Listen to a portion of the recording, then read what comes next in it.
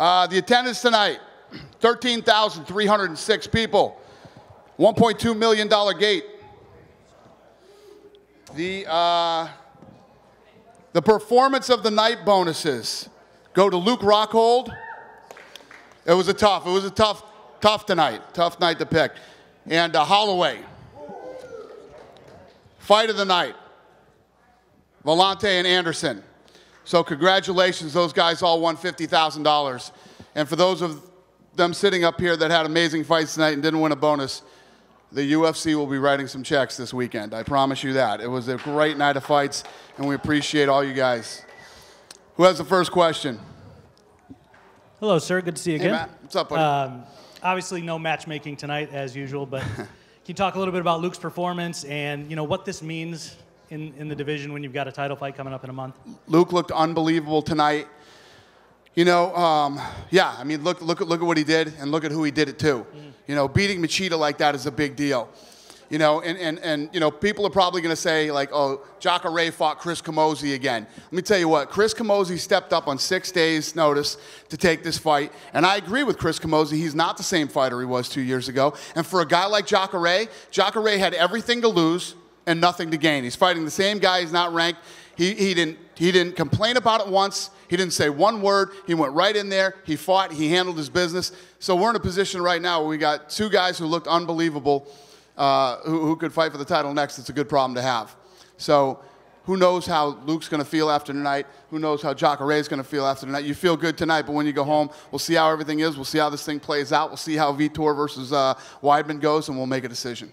And then uh, can you talk a little bit about Paige over here because there was there were obviously a lot of questions about her hype level coming into this fight. Yeah. She appeared to back everything up pretty convincingly. Yeah, let me tell you what. She's, you know, she's 21 years old. She doesn't have a lot of experience, but boy, she's a scrapper. She comes in and she fights. And uh, taking on a veteran like Felice and doing what she did to Felice tonight, you know, and she's got that thing, man. She's got that thing that I always talk about that you can't teach. They just have everybody in my dressing room tonight wanted to meet wanted to meet her. They're like, we got to meet Paige VanZant. So we brought her back there, and she's she's got that thing, man, I'm and she can fight. I'm assuming that's one of the extra checks you're, you're going to write that you were talking about. What's that? I'm assuming that's one of the extra checks, that, the, the non-bonus checks that you were talking about. Yeah, yeah, she's gonna make some money. I, I'm She's got got to she's got to get it all in before he shaves her head. You know what I mean? Sure. After she shaves her head, I don't know. We'll see how it goes. Uh, so, so Paige, uh, real quick, for a lot of people looking at this fight, looking at, at the two of you, I think the assumption was that, that she was the stronger fighter physically. You seem to neutralize that pretty easily. Did you feel her strength in, in the cage? And, and if not, uh, what do you think was the difference there? You know, maybe she was stronger. She obviously looks a lot stronger than me, but even when you're a black belt, when you're getting punched in the face, those things kind of go away. And when you're in a fight, it, it doesn't matter what skill set you have. If you don't have the heart, then like, your your strength and your um, attributes kind of fall back. Sure. Do you feel like you answered a lot of the critics tonight with that, with that type of performance? And was that dominant of a performance what you thought you would be able to put on? That was the plan. I mean, of, of course, I wanted to go out there and get a dominant performance. Everyone wants to finish their fight right away. Um, I'm really happy with my performance tonight. I, I still have a lot to work on. You know, I'm, I'm very young in the sport. Uh, every single fight, I'm going to change. I, I'm not technically the best yet, but I'm, I'm at the perfect camp for that. Sure. And uh, if I go to Max real quick, talk us through you know your confidence level right now because this is I think six in a row and five finishes and uh, we talked the other day about the the one decision that you had in there. A lot of people said that was the best that you've looked, even though that wasn't a finish. But this probably trumps that, don't you think? Oh yeah, for sure. You know, uh, all, all I gotta say is uh, I got a great team. I got a great camp, and we're doing great things. So uh, Dana White, come to Hawaii. Bring one down to Hawaii. Let's get one. You got like seven UFC fighters, Hawaii fighters in the UFC. I want one. I want to fight one back home. What kind of position does this put you in? Do you sit back and, and wait till July and see what happens, or are you ready to go out and take another fight and and let the title fight figure itself out in the summer? You know, I don't know. I'm not a matchmaker. That's not my job. You know, we see what Dana White, what uh, Sean Shelby, Joe Silva want to do with me. You know, we take one step at a time. That's what we've been doing, and uh, it's been working out for us. Actually, actually then uh, now that now that Luke's here, if I could go to Mr. Rockhold for a second. Congrats on the win, guy. Uh, walk us through uh, how things played out for you in the fight because I don't think a lot of us are used to seeing Mr. Machida get kind of thrown around like that and dominated, and you you made it look like just ridiculously easy. Uh, yeah, I, I kind of told you what I was going to do. If, if it touched the ground, we're going to be operating on different frequencies, and I knew I could dominate them. Uh, I just got good position, and, and uh, people, not many people can get away from me.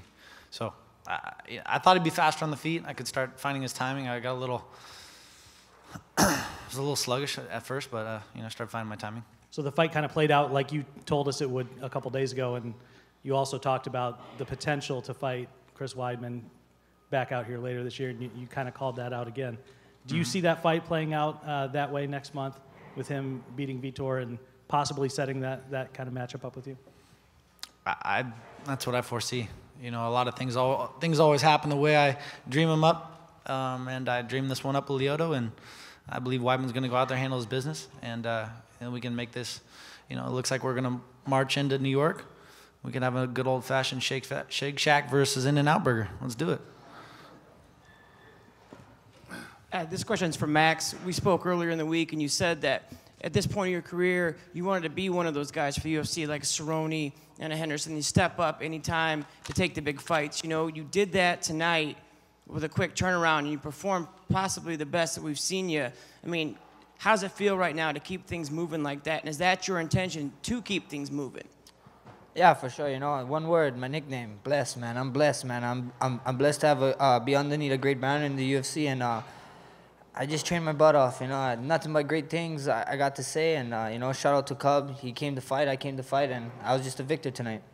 And it looks like you look like you're having fun out there. Your last fight against Cole Miller, you look like that. Tonight, you looked at uh, and uh, possibly the toughest guy you've faced since or to date. So, I mean, how's it feeling there? Are you seeing things different? Are you feeling a different rhythm? Yeah, you know, I, I, I, I'm, I don't know, surprisingly calm the last couple fights. You know, the, every time I'm thinking, I'm, I'm just going in there, I'm just walking. The nerves get to me, but the nerves is like, uh, it's like I feel great nerves. You know, it's not nervous like I'm scared of something. It's nervous that I, I know what's about to happen. Something great is about to happen. And this question's for Paige. You know, obviously there was a lot of attention coming in tonight. How did you feel? You know, could you feel the moment? Could you feel all these eyes on you that you, you, know, you obviously performed excellent, but could you feel this big build up for a, a, a big night? Um, yeah, I felt it. I mean, I had a, an amazing support system, and I, I, have the best family and best team in the world. I, I think that's. I try to soak it in every time I, I, get to be in the octagon. I'm just so blessed. Like when I walk out, I just take in all the fans, and that's something I could have never dreamed would have happened to me. So, um, yeah, I'm, I'm, not nervous the night of the fight. I just I, I get to soak it all in. And this question's for Luke. Um, you know, when Machida got up at the end of the first round, he looked like he was wobbly. Uh, could you feel that when, when you were uh, at, when you hit him with some big shots at the end? Could you feel that going out of the first round? And what was your mindset going into the second round? Yeah, I was just trying to get him in a compromised position. Uh, he was a little slippery. I think he came in with a good sweat. What was going on? So I was trying to hold position, really, you know, find that kill shot. Uh, I had his head pinned to the mat. Last like three seconds left, and I hit him with an elbow, and I knew it hit real hard right on the side of the head. And started, I looked at him as he got up. He was wobbly, and I, I kind of figured he was uh, he was hurting at that point. I wasn't even sure if he's going to get back into the second round, but you know I saw him, and I think he was a little shaky after that. Uh, first question for Paige you know, the whole week leading up, you were all smiles and you never really seemed to buy into the, the kind of trash talk uh, that Felice had for you. But from the, you know, stare down at media day to the stare down at, you know, the weigh-in, she was kind of, you know, mean mugging and everything. I mean, what did it make the win more satisfying to do what you did out there and really dominate her, uh, you know, the way you did tonight? Um, for me, every win is satisfying. um, you know, I just have, I understand that some competitors – have to get in that mindset. She's about to go in and do a fight, you know? So some some people have to get in that mindset like you have to hate excuse me. You have to hate your opponent and I don't have to do that. You know, I, am it's like my birthday every time I walk out to the cage and, and this is what I love to do. I, I don't have to hate the person I'm fighting and you never you never seem to let it affect you that you know people were kind of giving you a hard time whether it was the Reebok deal or getting a you know a main stage fight on Fox in your second fight But do you feel like you did kind of prove the hype a little bit? Because let's be honest, Felice was a veteran. You know, she she did have some big wins in her career, and then to go out there and dominate her the way you did, I mean, that's that's a pretty big statement.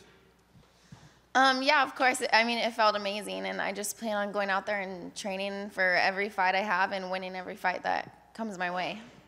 And uh, a question for Luke. Uh, obviously, a lot of people knew going into the card originally it was you know you and Machida and, and Jacare and Yoel Romero. You know who came out looking the best would probably get the title shot. It's not Jacare's fault, obviously, that Yoel Romero got hurt. But do you feel like there's any chance that that title shot's not yours at this point? I know they're not going to match make tonight, but seemed like you made a pretty strong statement finishing Machida. Yeah, look, I said it before. I'll say it again. I, I, this is my show. I was going to come out here and make it my show. I was going to dominate whether he was fighting you well or not. Uh, no offense to Jacare, but I am the number one contender. I'm, I'm the best guy around, and uh, it's my title shot. Uh, I've dominated everybody in my path. I, I've beaten Jacare, and uh, I deserve it. And I know that you've already made it very clear you, you believe Chris Weidman's going to win. We know the history. We talked the other day, the history you have with Vitor. How do you feel you match up with either one of those guys? Uh, you've been in there with Vitor, but obviously you've been thinking about the Weidman fight a lot, I imagine. Yeah, I've been in there with Vitor. I, really, I'm. I'll go out there anytime. I'd love to uh, rematch. Look, all, all the greats get caught.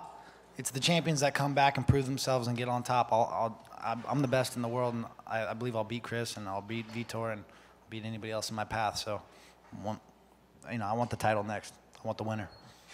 And a question for Jacare. You know, I kind of mentioned obviously it's not your fault that Yoel Romero got hurt. You went out there and took care of business. Uh, but where do you feel you sit right now? I mean, obviously, I know you said you want the title shot, uh, but do you feel that's changed at all because of Luke's performance, or how are you feeling right now? Não é sua, não é sua culpa que o João Romero não lutou, você foi lá e lutou, e você acha que ainda tem.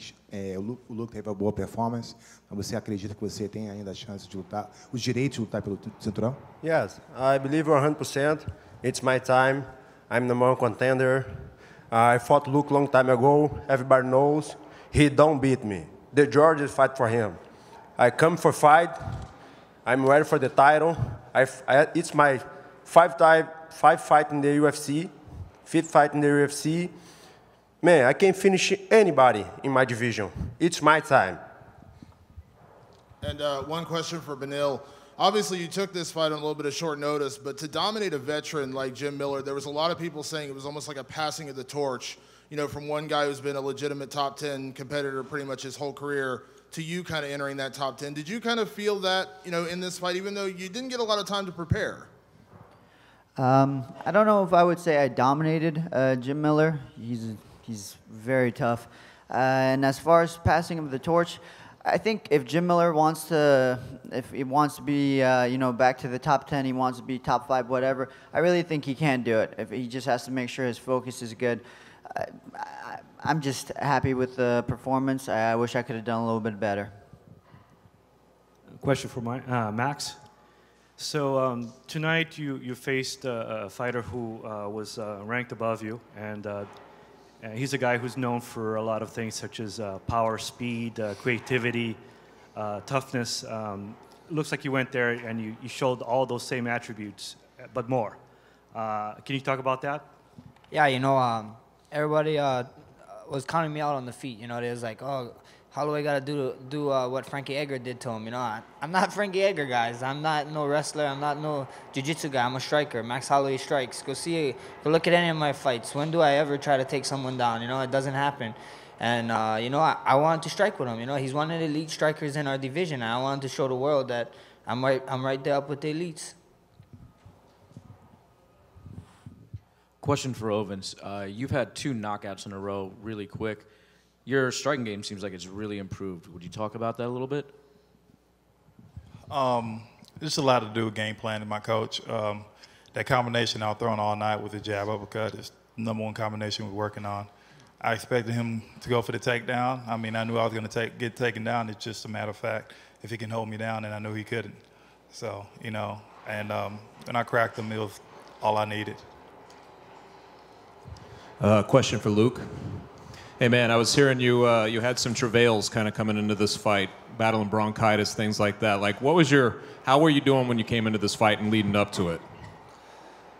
Yeah, I just try to take everything as a blessing in disguise. Uh, you can't bitch about every little thing that happens. Um, got a bald spot. Went surfing and hit my head, cracked my head open, and had to glue it. Um, that sucked a couple weeks ago. Um, training with, with super glue in your head is not good. That's not a real bald spot, people. So actually, I had to shave that off to train. Um, yeah, bronchitis sucks, and uh, yeah, I was, you know, felt a little sluggish, but whatever. You know, I, I knew I was going to go out here and handle my business, and uh, things happen, but whatever. I'm, I'm here. One other question for you, man. It looked early on like you were sort of calibrating, you were trying to figure out the range. He caught you just a little bit, like during an exchange. I saw you kind of shake your head as if to say, like, okay, wait, I'm uh, do that again, but do it different. Was that going through your mind when that happened early in the fight? Yeah, I was a little nervous to exchange with, with Machida, given his history is so fast and elusive and this and that. And, you know, I knew I could strike with him on the outside and I could pick my shots. And so I, I was just a little nervous, I think. And then I could see him, he, he wasn't as fast as I thought he was when he was coming in. So I started to, you know, to relax a little more and uh, just have to believe in myself a little more, I guess. Um, uh, yeah, that was, yeah, I, he wasn't going to be able to hit me clean. I should have just relaxed more and actually struck more on the outside. I, I think I could have easily beat him there too. Dana, I meant to ask this earlier. Do you know? Do you know if anybody was transported to hospitals or anything? I mean, I know Leo. Yeah, not here, Machida so- was transported straight to the hospital. Uh, Felice and Anderson. Okay. Um, the the Jimmy Hedis uh, stoppage with the ear. We saw you tweet about that. Can you just talk about that a little bit? I I know tweeted too fast, man. You got to slow down on the tweets. I tweeted too fast, and I saw the ear, and I was like, "Dope, all right." So- so you you were right, New Jersey. okay, yeah, yeah. Hey, listen, we don't need an ear falling off on Fox, okay? So we, we can. Uh, that was bad. At first, I was like, "Are you kidding me? They just stopped that fight." That was starting to look like a really, really good fight, and, uh, and then I really saw the ear. Okay. You know, you start taking shots, or a finger gets in that ear.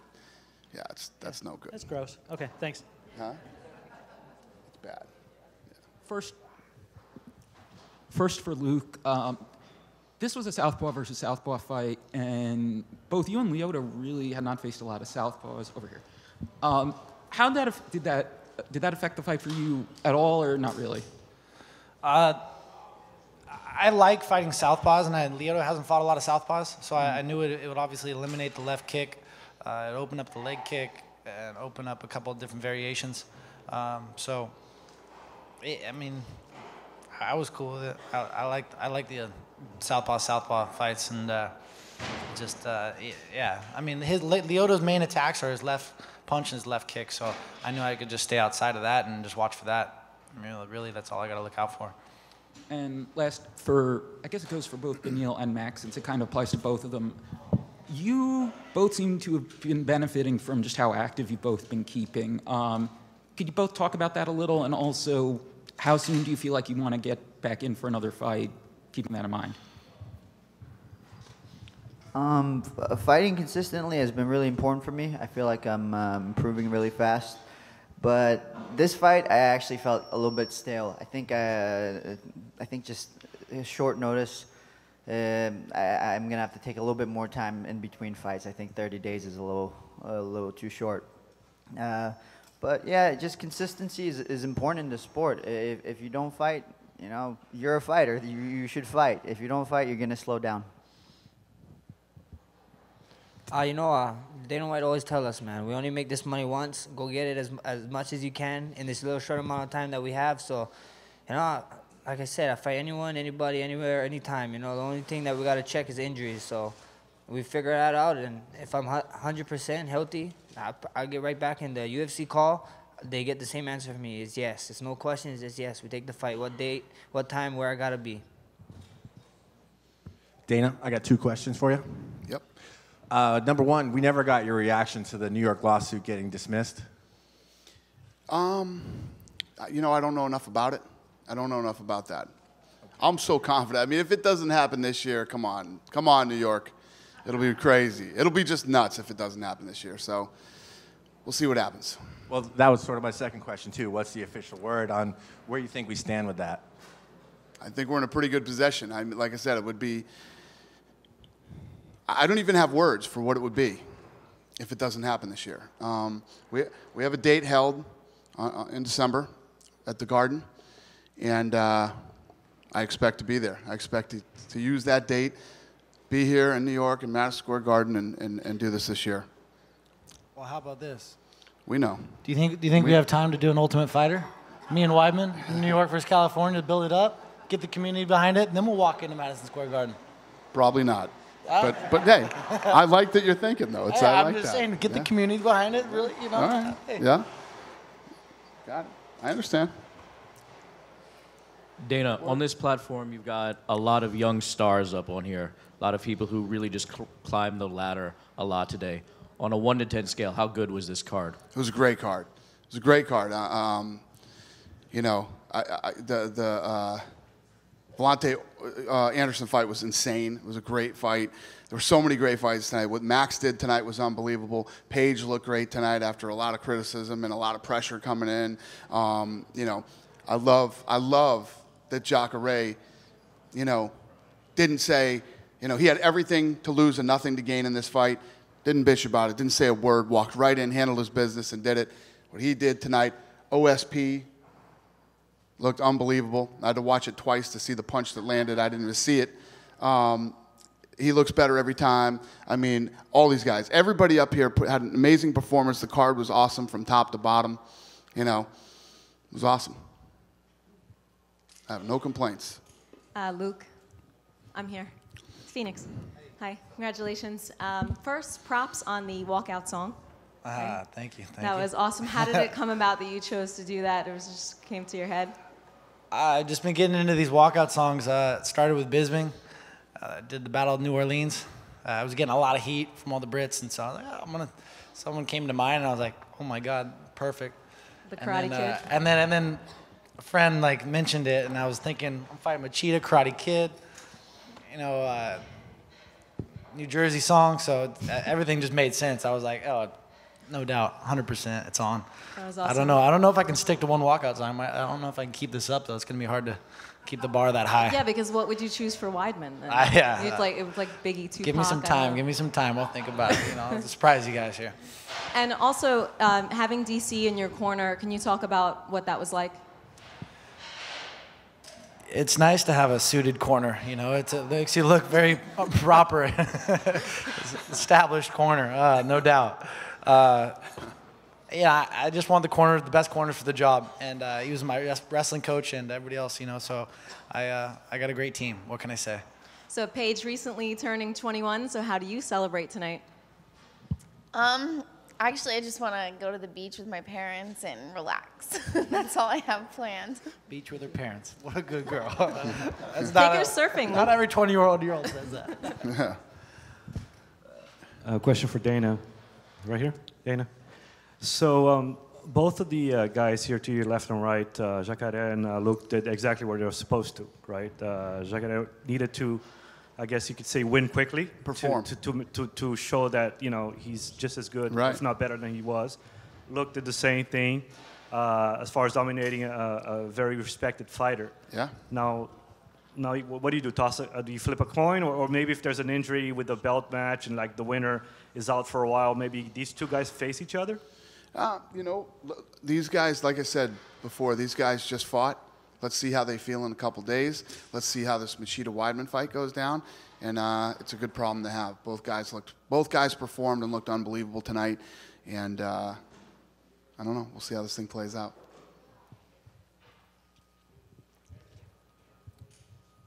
We haven't even made it to the to the fight yet. Vitor and uh, Right. Weidman, that's a scary thing.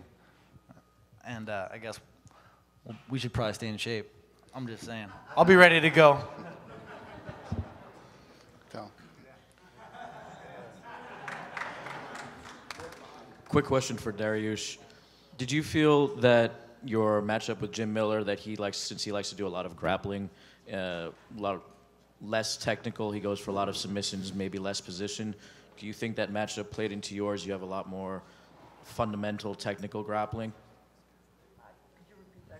I'm saying, sorry about that. You have a much more fundamental technical approach to grappling, it seems, than Jim Miller, who goes for a lot of uh, less position, more submission. tries to do a lot of different things. Did that go better into your style? Was that a good matchup for you? Uh, I, I didn't really think about that, to be honest with you. Uh, the the goal was just to just to kind of beat him everywhere in the jiu-jitsu. Uh, uh, stay on top, keep the pressure. I knew if I, he got on top, it'd be really difficult to sweep him or submit him. He has, you know, he's a black belt in jiu-jitsu.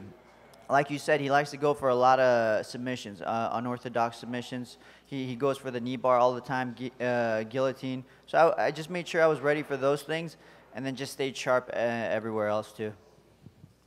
We'll take two more questions if there's two more. You got one? Right? Would you bring your own mic? Yeah? All right.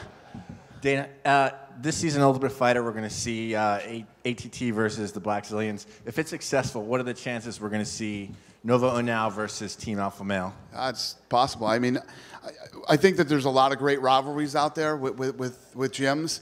And, uh, you know, it's funny because every time we go into the Ultimate Fighter and I say it's this team versus th- that team, it's really not teams. They're, you know, these are all just guys who, who end up on the same team to train together, but only one person wins the Ultimate Fighter in each weight class. This is actually team versus team, and there's a whole different dynamic to it. The energy in, this season is, you're going to be blown away when you see how crazy this thing is. Um, so it's definitely, a, it's definitely a, a possibility. We'll see how it plays out. AK versus Longos. And this question's for you know kind of both Dana and Paige. Um, the strawweight title picture right now is pretty much wide open. You know, you have uh, Joanna up top. Uh, Paige has a lot of steam behind her, but she's still very very young in her career. So do you have to be kind of uh, do you take a different approach with how you bring uh, you know uh, somebody like this along, or do you just kind of let things go where they go? The problem with Paige is, you know, she's young and she's five and one now, but she's gonna, probably going to be ranked, you know, in the low top 10 now. I mean, she's, she's going to be 9, 10, 8. She's going to be in that ballpark somewhere. So uh, it, it- we'll, we'll, uh, we'll see it. We'll see how we, how, how we move her. But yeah, she's, she's definitely in the, uh, in the danger zone now, you know? And, and Paige, you know, how do you feel about that? Is it uh, take the opportunities as they come? Are you ready for whatever, or is there something that you take your progression at a measured pace? Um, of course, I'm going to take any fight that's offered to me, but with all the strawweight fights coming up and with the ranking system being so new, I, I think that we will see a little bit more accurate ranking of who's available for the title shot. I, I beat number eight, so I think that'll move me up a little bit, but I'm, I'm still not top five. I, I think I, I have a lot more to prove, and we'll go from there. And that division's still really young, too. She's young and the division's young. So see how it plays out. Well, thank you guys very much. We appreciate it. Have a great night. Thank you, New Jersey.